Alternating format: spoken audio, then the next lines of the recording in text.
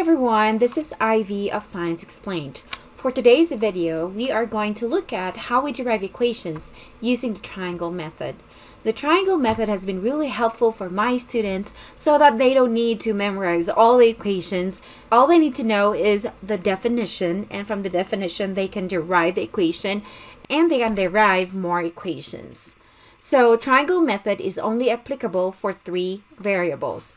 For example, we have a general equation of A is equal to B times C. So these are called the variables, variable A, B, and C. So we can create a triangle here. And since we have three variables, we are going to divide the triangle into three. Now, how do we plot or how do we put the letters here?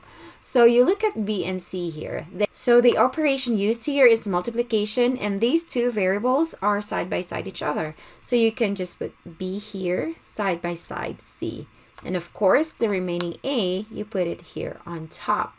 So which means that if we are going to solve for A, we can just put A is equal to, and look at B here, they're side by side. So you can just put B and C. And you know that side by side means multiplication. And so what if we are going to solve for B? What would be our equation?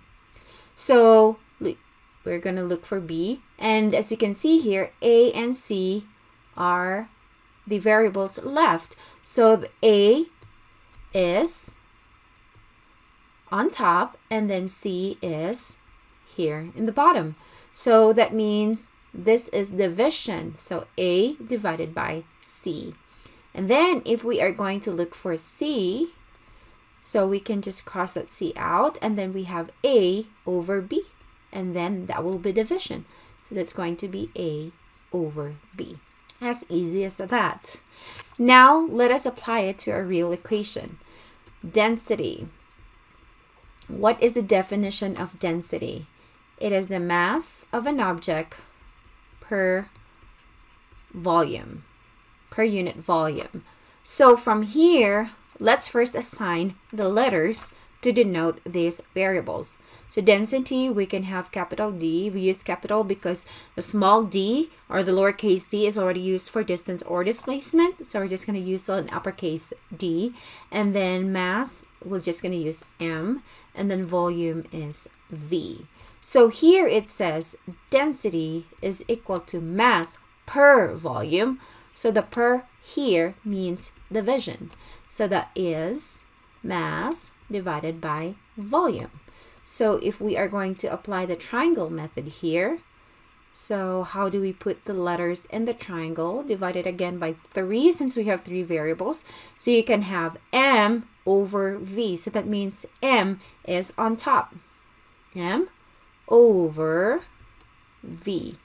And then the remaining part is for our remaining variable, which is this um, density.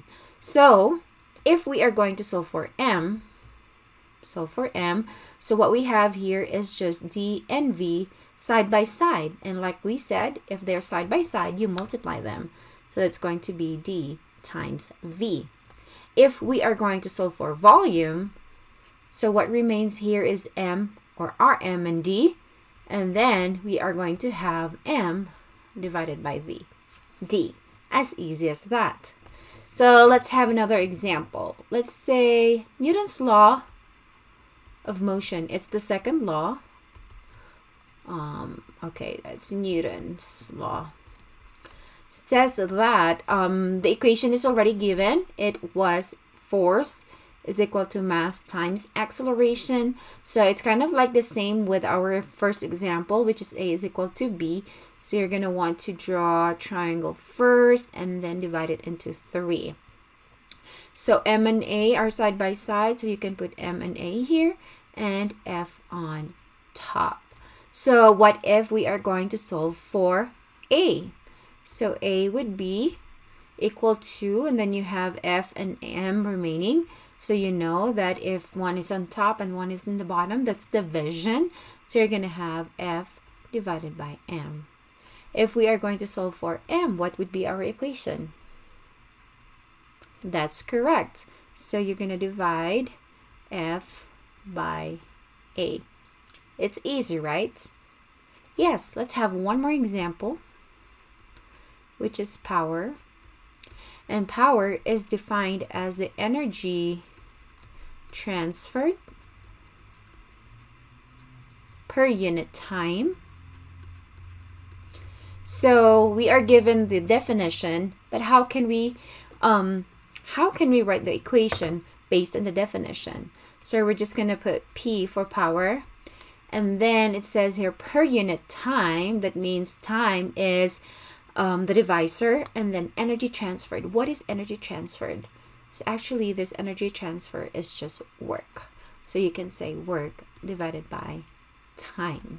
So from there, we can further um, derive more equations. So you say here, work over time. So work over time and then P. So if we are going to calculate for work, so we have here P and T remaining. So that's going to be P times T right? If we are going to solve for time, say I did not um, crash out W, so we have here W is on top and P is the divisor. So it will be W over P. That's it. It's really easy to use the triangle method and this is only applicable if you have three variables. If this video has been helpful for you, please give this a thumbs up and subscribe to my channel and click the notification bell so you will be notified of my upcoming videos. Thank you so much and God bless you all. Happy learning. Bye.